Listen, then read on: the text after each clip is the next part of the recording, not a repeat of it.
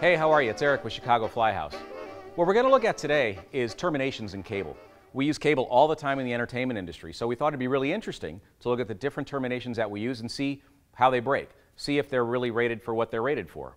So the ones we're going to look at today are compression sleeves, cable clips, wire rope glides, gripples, and even circus hitches, and I know a lot of you are ready for that one. So the first one we're going to look at are compression sleeves. We commonly call them Nicopress sleeves because it's one of the manufacturers. There's two good manufacturers out there, Nicopress and Locoloc, and a lot of people think they're interchangeable. The real term is actually compression sleeves. So the great thing about compression sleeves is that with those you get 100% of the rating of the cable. In fact, sometimes you get a little bit more than the catalog strength of the cable, which is really nice. So we're able to get full efficiency out of those terminations. And that's going to be our control. That's the first one we're going to break so that we actually see what it's rated at for a connection that's rated for 100% of the cable strength. The next one we're going to look at are cable clips. Now cable clips are really nice because they're adjustable, they're reusable. You know, it's not a one-time shopping thing. You can use them over and over. The bad thing about cable clips is that they're not always put on the right way. There's a lot of ways to mess them up. In fact, I think that's a whole other video that we'll do sometime. The other thing to know about cable clips is that they're only rated for 80% of the cable strength. So your working load limit is a little bit lower compared to the compression sleeves. So the next one we're going to look at are wire rope glides. Wire rope glides are fantastic for stuff like hanging signs at a convention center, hanging uh, small projection screens, hanging small scenery even. The thing about them though is that the manufacturer realizes that the product itself does damage the cable after a certain load. So they base their uh, strength only on half the strength of the cable. So eighth inch is rated for 2,000 pounds, right? Well, we can only base this hardware off of 1,000 pounds, so we lose half of the strength of the wire rope. It's also designed off a 5 to 1 design factor. So our design factor allows us to only put 200 pounds on this piece of hardware. So we're basing that on that 5 to 1. So never put more than that 200 pounds on these particular pieces of hardware that we're using here. These are actually Griplocks. Um, they're a great company and they put out some really great stuff. You're going to want to look at your manufacturer and make sure that you have the same design factor, but they're all pretty much in that range. We're also going to look at gripples. Now gripples are really, really interesting. We're going to look at two sizes of gripples, okay?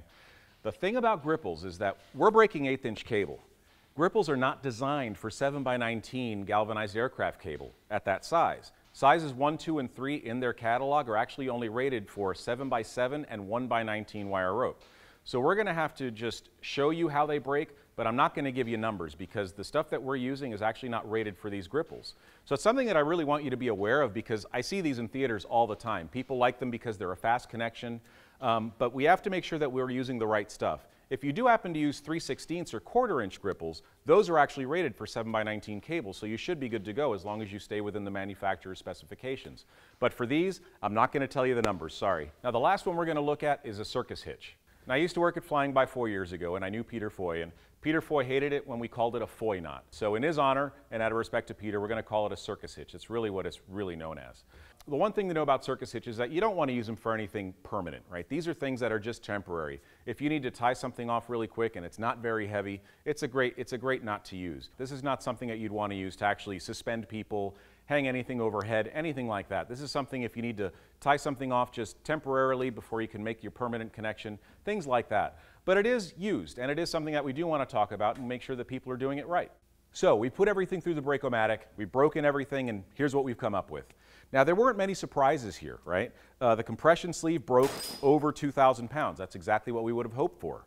The uh, cable clips broke at around 1,800 to 2,000 pounds. So we had a little reduction in the working load limit of the cable, or the breaking strength of the cable, sorry, but it did exactly what it was supposed to do. It held exactly and did what it was supposed to do.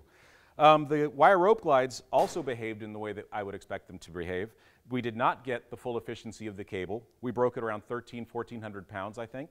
And uh, what we notice is that it actually breaks inside the unit. Little balls that are inside there, they constrict the cable and they break it. And that's why the manufacturers have the rating that they do, because they know that it does that damage to the cable at a certain point. The gripples, again, I'm not going to tell you where they broke, but they broke. They, um, they actually held up pretty well, but I'm not going to give you any more information than that. Sorry. Um, the last one might surprise some of you, right? The uh, circus hitch. What was really interesting is that it broke at, I think, 14, 1500 pounds, depending on which one we looked at. And where it breaks is right here at the apex of the, uh, the uh, clove hitch that we tie in it, okay? Um, so these are actually really secure if you tie them the right way. Well, thanks for watching. I hope you found this video informative. I hope it was fun. It's always fun breaking stuff. Leave some comments for us. Tell us what you'd like to see in the future. We'll try to get them done for you. Thanks a lot.